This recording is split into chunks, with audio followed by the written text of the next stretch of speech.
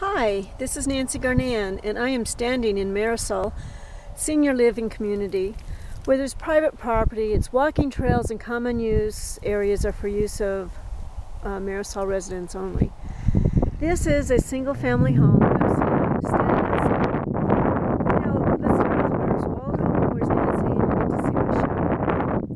This single family home, and you can see there's a skylight up there to the right of the fireplace. Just one of the, it's this is a premier living community and the more I get to find out about it and know about it, the ex more excited I get about Mirasol. And there's a good chance that when I'm ready to retire and have a carefree lifestyle, that this is where I will choose to live.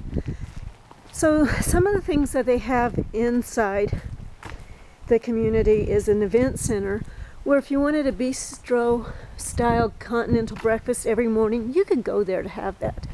They have people that get together to play bridge. They have people that get together to, um, oh, I can't even think because actually there's so much I can't even keep up. So as you can see here, I'm walking up the ramp. So there's less places to trip and fall and worry about things than in a lot of homes. They've taken a lot of care in filling this, planning this home out. So let's go ahead and enter. And when you come into this, and I've got the fireplace on, and it's just warm and friendly, and oops, there's that sun shining in the window and making it hard for my camera to adjust. Ceiling fan. This is the larger unit. This one's a two bedroom with a study office. You have a dining area here. Now it's kind of formal, but it's actually informal too because it's open to the kitchen. You have a great little island and then there's also a study office. So this is a two bedroom with a study office. Now the study office, okay, could also be converted to a third bedroom if you want it to be. It's got some lovely windows and let's take a look over here. And this is a closet. So I wasn't lying when I said it could be a third bedroom. And those views outside today are just gorgeous. You know, it's supposed to be this particular week a very warm week. Now, there's not going to be a house as far as I remembered in looking at the plat right there. So let's take a look at that. Dining room with a light that needs to be dropped. You have an eat-in kitchen area. Let's go check out the kitchen. And I'm trying to do this as if you're here with me. So you could have your two tables here eat in the kitchen area, look outside, keep an eye out on your neighbors. Um, this is a great area for walking. And one of the things that I want to kind of point out to you is as I'm standing in this house, I see, and I don't know if you can too, I'm going to try. I see the mountains. I see Long's Peak. And yeah, during the summer, the tree's going to hide it. Darn it! Well, don't cut down that tree. It's still a lovely tree. So let's get back and look at this kitchen and check this out. Because this is your living space of the house and where you'll spend the most time. Of course you have the washer and dryer.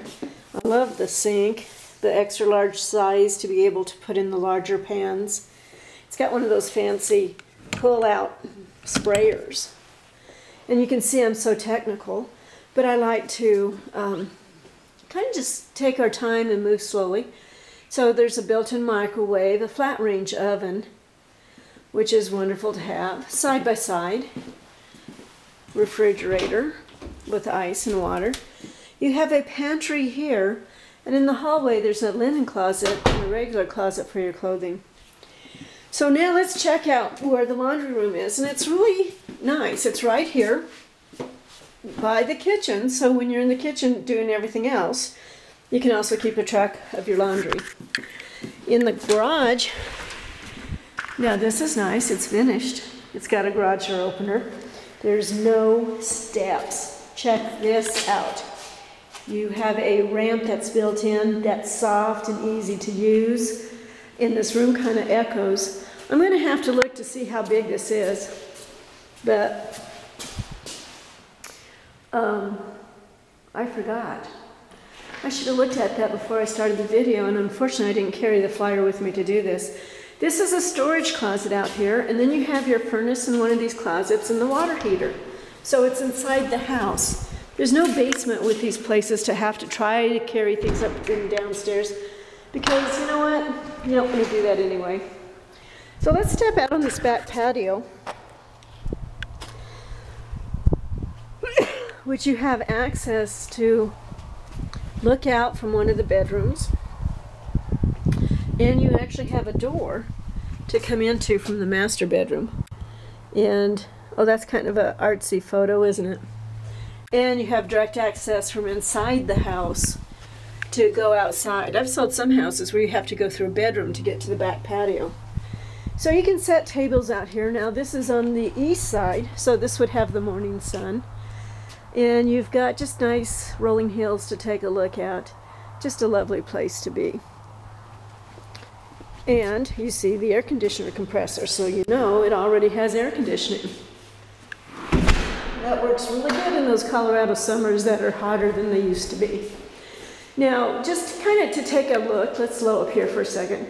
This garage door, when you see one foot out of both sides of a garage, it's 20, and usually 20 deep. This looks like it's got an extra four feet, maybe more on that side, two feet on this side. So it gives you a feeling that it truly is oversized, which is nice because then you can move around and not feel too crowded. Okay, let's go check out the hallway. So we've got the front door right there, and straight back is the door to go out. Um, tiny little linen closet. If you wanted to extend it out to a pantry, you could. Or put in your rain boots or whatever you want, and then you have a nice little coat closet right here by the front living room. That fireplace is going. I just got to show this to you. It's kind of hard on a day like today Oh, there you go. Seeing, look, taking a look at me. Waldo's not doing very good. But just a lovely fire. Lots of room and flexibility to set up your furniture. So let's go check out this is the bathrooms. And so nice and I never know for sure how those light fixtures show up. I don't have all the lights on. I like the fact that you could lay in bed, lay in the tub and use one of those things to hold your books or whatever for reading. This is the second bedroom. It's got little closets on both sides, so you can put your bed here, lay back, and let's see if we can't look out the window and get a better view. So you're not looking into your neighbors, and I think that's a big bonus. Unless you like looking into your neighbors, then we have to look at a different house for you. Nice size master bedroom. And here's that deck that we were looking at before. You have with this lovely home. And you know, one of the things that's really nice is the height of the ceilings. See, there's the door. And then there's probably 30 inches. I don't have my tape measure with me, and so I can't measure. This is a master bath. A lot of great light. There's the soak uh, tub for taking a bath. And then what I really like is the shower. So the shower is one of those showers that you can just walk into. You don't have a big lip to step over. And a nice tall shower head. So if you're one of those people that's tall, you can actually not have to have the shower hit the back of your back. And then there's the light that's part of the skylight. So let's check out the closet. I want you to see this too. There's shelving there for your book, but shoes or sweaters. I was trying to say boots, and that just didn't want to be come out. And then your coats and dresses. And of course, most of us wear shirts or jackets or whatever, and so that's why the double closet is just wonderful. So now, Mirasol Community is just a wonderful place to live. There's so much to do here. It's not a senior living center as far as I'm concerned. It's an, it's an active area to live to be engaged. They do tours, they take the bus different places. Um, I'm going to be getting a video and we'll tag it on as a separate video to talk more about Mirasol with testimonials of people that live here. And it's not just women, it's just not men, it's people. Men and women, they're active, they, they go into bicycling, they play golf, they watch TVs together. They had a soup dinner the other night. it was so good I wanted to stay. And unfortunately, I had made plans ahead of time and I didn't RSVP. Oh well, I guess I'd have to pay to live here. Hmm, another reason to think about it. So, thank you for visiting. This is the Rio Rancho plan. Very livable, and we hope that you call us to make arrangements to see it, and we would love to arrange a tour for you of the senior living community, which is very, very, very active. My name is Nanci Garnand with Remax Alliance. You can reach us by calling the team number at 970 622 1846. Once again, 970 622 1846. Or email us at livinginnortherncolorado at gmail.com. Thanks. Bye bye.